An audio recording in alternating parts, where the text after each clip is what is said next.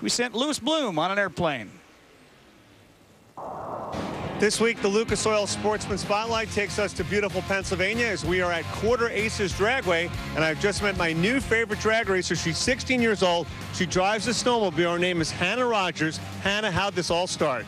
My stepdad introduced my mom to drag racing and snowmobile racing, and I used to race when I was, well, I didn't race, but my family raced when I was little. And they told me to try snowmobile racing, and I tried it, and I loved it. What did your friends think about you racing a snowmobile?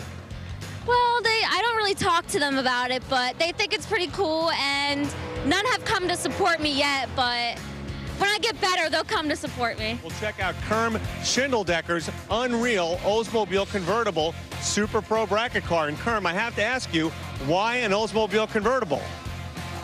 I'm, I've always been an Oldsmobile guy, and uh, I always like to have something different, uh, unique. I, I've, in all the race cars I've ever had, uh, there's never been another one like it. Now, you built this car yourself? Totally. The chassis was built by John Little. Uh, other than that, I built the entire car. The, the uh, body is all fiberglass. I, I manufactured that. Uh, the intake manifolds fiberglass. I, I built my own engines, transmissions, rear ends, I, and uh, everything except the chassis. And this car won a Best Engineered Award at the bracket finals a couple years ago. What did that mean to you? In 2012, it was better than winning the race. It's like a fun place out there in Pennsylvania.